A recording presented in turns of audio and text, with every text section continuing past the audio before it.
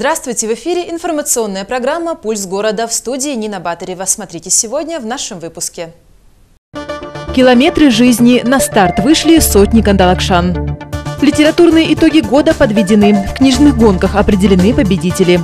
Большой брат следит за нами. Как работает программа «Безопасный город».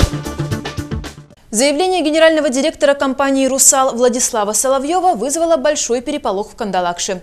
В своем интервью интернет-изданию «Стиланд» глава металлургической компании рассказал о временной остановке ряда заводов. В качестве потенциальных претендентов на сокращение мощности – шведский «Кубаль» и кандалакшский «Алюминиевый».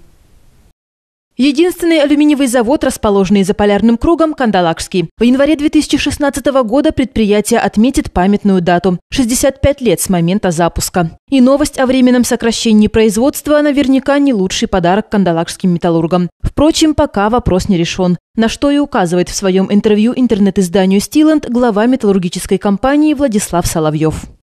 Пока не приняли это решение. Мы сейчас внимательно смотрим на Кубаль, смотрим еще Кандалакшу, ждем до сих пор решения по электроэнергии.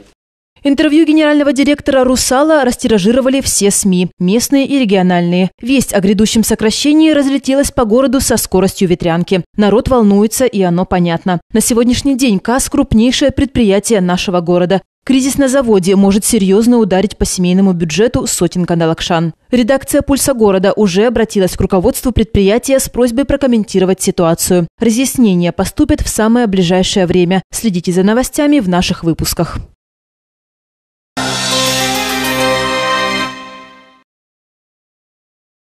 В Центральной библиотеке города Кандалакши подвели итоги уходящего года. Все желающие смогли узнать о том, какие книги в году уходящем стали самым значимым вкладом в литературную копилку нашей страны, а также поближе познакомились с некоторыми произведениями.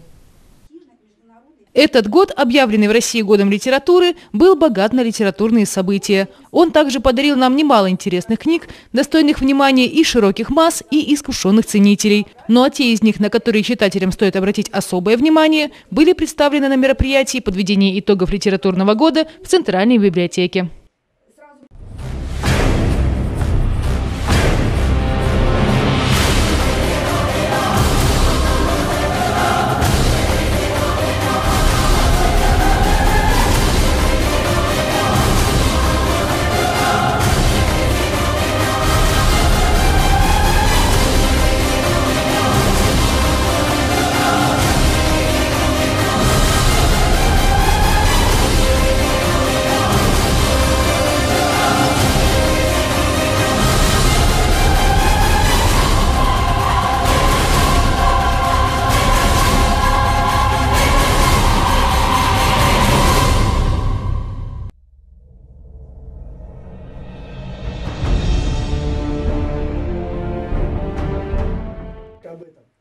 Ну а кроме книжных новинок, на итогах года также были представлены лауреаты литературных премий и прошло обсуждение важнейших литературных событий уходящего года. Подвели итоги в Центральной детско-юношеской библиотеке, итоги больших книжных гонок. По каждому из произведений участников была представлена видеопрезентация, а победители были определены при помощи открытого голосования в интернете.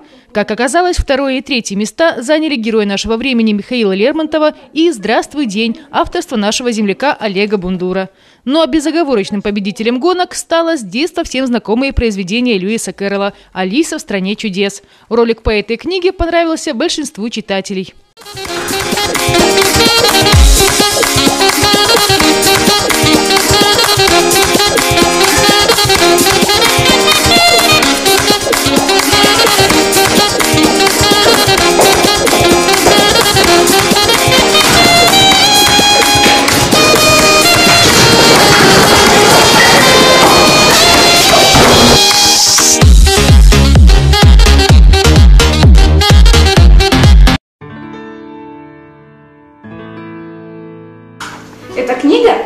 приключениях девочки Алисы, которая через кроличью нору попала в удивительный мир, населенными странными существами. В книге живут веселый забавный шляпник и, и чеширский кот, спокойные расслабленные гусеницы, мышь, рассказывающая истории и многие другие. Там мартовский заяц угощает своих друзей бесконечным чаем, а королева постоянно угрожает срубить кому-нибудь голову. Ребята, обязательно прочитайте эту книгу, потому что там есть приключения, превращения, чудеса. Дорогие взрослые, вы слишком много работаете и не верите в чудеса. Но эта книга для вас. Это веселая, добрая сказка. А сказки любят все. Все!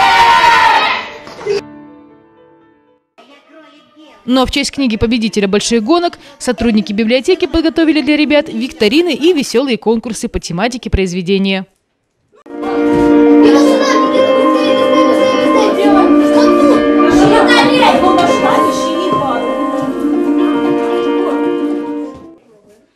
Школьники помогали кролику найти перчатки, искали сказочных героев в норе и соревновались в чеширской улыбке. А за свои старания, конечно, были награждены сладкими призами.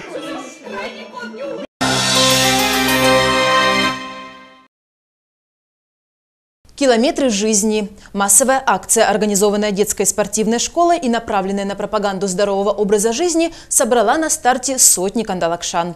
В забеге принимали участие ребята разного возраста, а кто-то участвовал в акции всей семьей.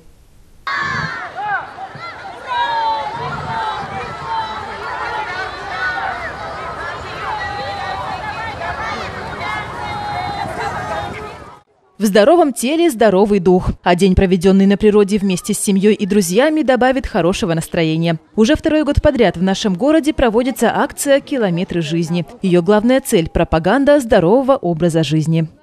На старт приглашались все желающие. Поучаствовать в забеге смогли и малыши, и подростки, и взрослые участники. В зависимости от возраста им предлагалось преодолеть дистанцию в 200 и 800 метров. Бежать по снегу нелегко. Тем не менее, с задачей все без исключения участники кросса справились. Дети занимаются у нас уже третий год в спортивной школе. Сами мы тоже с детства занимаемся лыжными гонками. Вот. Конечно, по снегу бежать намного тяжелее, чем по земле. Но мы всегда рады участвовать в таких мероприятиях. Настроение у нас очень хорошее. Так что будем ждать следующего года. Также примем участие всем семейством. Кто любит спорт, тот здоров и бодр. А мероприятий для кандалакских спортсменов будет достаточно. Совсем скоро приверженцы здорового образа жизни встретятся на массовке снова. В начале декабря, по предварительной информации детской спортивной школы, откроется лыжный сезон.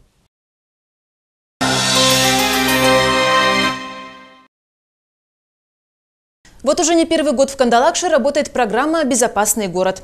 В рамках нее на самых оживленных улицах и в микрорайонах с нестабильной криминальной ситуацией были установлены камеры видеонаблюдения. На данный момент все происходящее в Кандалакше круглосуточно фиксирует 18 камер. Однако этого количества недостаточно, считают правоохранители. В будущем году планируется приобрести еще три онлайн-наблюдателя. Выделение средств на закупку камер программного обеспечения, а также на их обслуживание предусмотрено в проекте бюджета на 2016 год. Говорить об объемах финансирования можно будет только после того, как главный финансовый документ будет утвержден и принят депутатами районного совета. По словам сотрудников правоохранительных органов, программа «Безопасный город» уже доказала свою актуальность и востребованность. Система видеонаблюдения с способствует не только раскрытию правонарушений и преступлений различного характера, но и помогает предотвращать их совершение.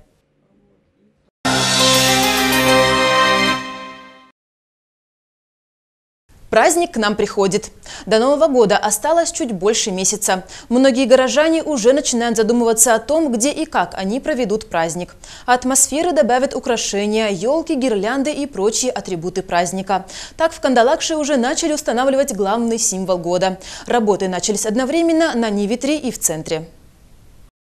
В этом году, судя по всему, от блестящего конуса решено отказаться. На смену новогодней елки в стиле хай-тек снова придет почти настоящая. Сегодня специалисты подрядной организации производят установку каркаса, который после будет устелен лапником. Монтажом иллюминации и гирлянд займутся позже. До 5 декабря, как пояснили в администрации, центральная часть Кандалакши будет сиять и сверкать.